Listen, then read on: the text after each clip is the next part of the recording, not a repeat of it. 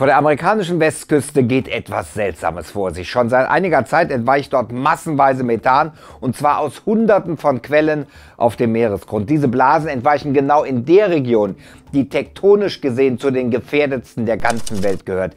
Sind Sie die Vorwarnung eines riesigen Erdbebens? Klicks um Science Fiction. Hier gibt es täglich faszinierende Science-Videos. Abonniert den Kanal, nur dann verpasst ihr nichts. Herzlich willkommen. One, two.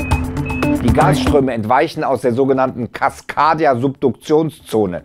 Diese Region ist bekannt als Hochrisikogebiet für die vielleicht krassesten Erdbeben weltweit. In einem Abspann von wenigen Jahrhunderten kommen hier schwere Erdbeben mit verheerenden Folgen vor. Das letzte Megabeben fand im Januar 1700 statt. Ein gigantischer Tsunami war die Folge. Heutzutage ist die Region dicht besiedelt.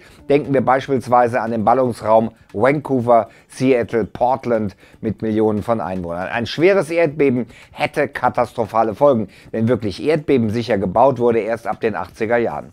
Die Erklärung für das Entstehen von Erdbeben in dieser Region ist super einfach, denn in dieser Cascadia-Subduktionszone treffen kontinentale und ozeanische Krustenplatten aufeinander. Die Folge sind dann sogenannte Subduktionsbeben, die stärksten Erdbeben überhaupt. Auf der Richterskala erreichen solche Erschütterungen Magnitude 9. Oft dauert das Ganze länger als eine Minute und den Schätzungen zufolge entspricht die freigesetzte Energie dem Einschlag eines 1 Kilometer großen Asteroiden.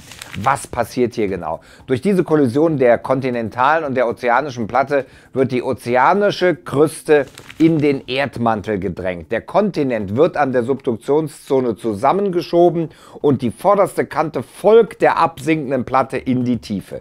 Die Kruste dahinter wölbt sich auf und ist gespannt wie eine Feder. Irgendwann wird die Spannung aber zu groß und die Kontaktfläche schnellt in die Ausgangslage zurück. Dabei wird dann das Wasser darüber verdrängt und eine gewaltige Welle entsteht, die sich in Richtung der Küste bewegt. Doch nicht nur diese krasse Energie ist typisch für die Prozesse der Subduktionsbeben, sondern eben auch, dass sie relativ regelmäßig auftreten. Deshalb sind Forschungsteams mit Hochdruck dabei, die Beschaffenheit des Meeresgrundes in dieser Region besser zu verstehen. Eine wichtige Hilfe könnten die Methanblasen sein, die seit einiger Zeit vor der amerikanischen Westküste entweichen. Schon 2009 wurden die ersten Methanaustritte vor der Küste des Bundesstaates Washington aufgespürt. Doch was der Forscher Paul Johnson jetzt mit seinem Team entdeckt hat, überrascht selbst die Fachleute. Wenn man den Meeresgrund von Vancouver Island bis zum Columbia River entlang gehen würde, wäre man nie außer Sichtweite einer Blasenwolke.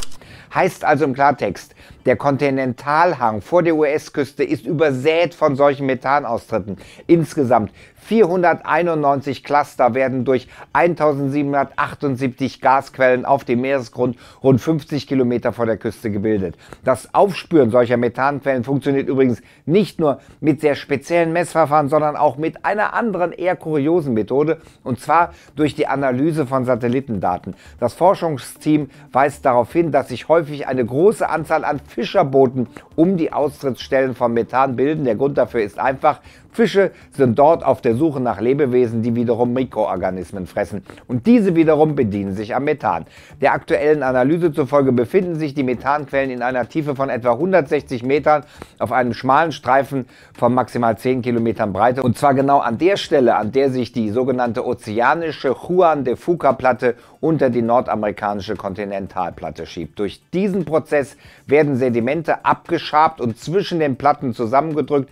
Dabei wird Methan herausgedrückt und entweicht in Form von Blasen aus dem Meeresboden. Eine weitere Erkenntnis, die Methanblasen treten eher im flachen Wasser auf. Das alles lässt das US-Forschungsteam vermuten, dass die Platten bei einem starken Erdbeben in der Region übereinander geschoben werden und dabei Brüche entstehen, durch die das Methan nach und nach entweicht. Dazu Johnson. Die Risse in dieser tektonischen Grenze liefern die Pfade, durch die das Methangas und warme Flüssigkeit aus den Tiefen entweichen kann. Bei einem Beben des Meeresbodens im flachen Wasser nahe der Küste könnte man also einen kleineren Tsunami erwarten als bei einem Beben, das im tiefen Wasser stattfindet. Sprich, die Methanaustritte können die Vorboten eines großen Bebens sein und betroffen davon kann die komplette US-Westküste sein. Das heißt nicht, dass das Erdbeben auf einmal überall auftritt, aber dass im Laufe der Jahre die gesamte US-Westküste betroffen sein könnte. In Los Angeles und San Francisco wird ja schon länger ein großes Beben befürchtet. Mit hoher Wahrscheinlichkeit wird es im Laufe der nächsten 20 20 Jahre stattfinden. Die Methanblasen im Norden könnten der Vorbote einer Verkettung von Erdbeben sein. Es wird mit Zehntausenden Toten und Milliarden Schäden gerechnet. Und es wird aus heiterem Himmel kommen. Niemand kann es genau vorhersagen, da helfen auch nicht die Methanblasen. Mehr zum Thema Tsunamis einfach erklärt, anklicken, anschauen und natürlich Raumzeit, Vlog der Zukunft abonnieren. Bis dann, bleibt dran.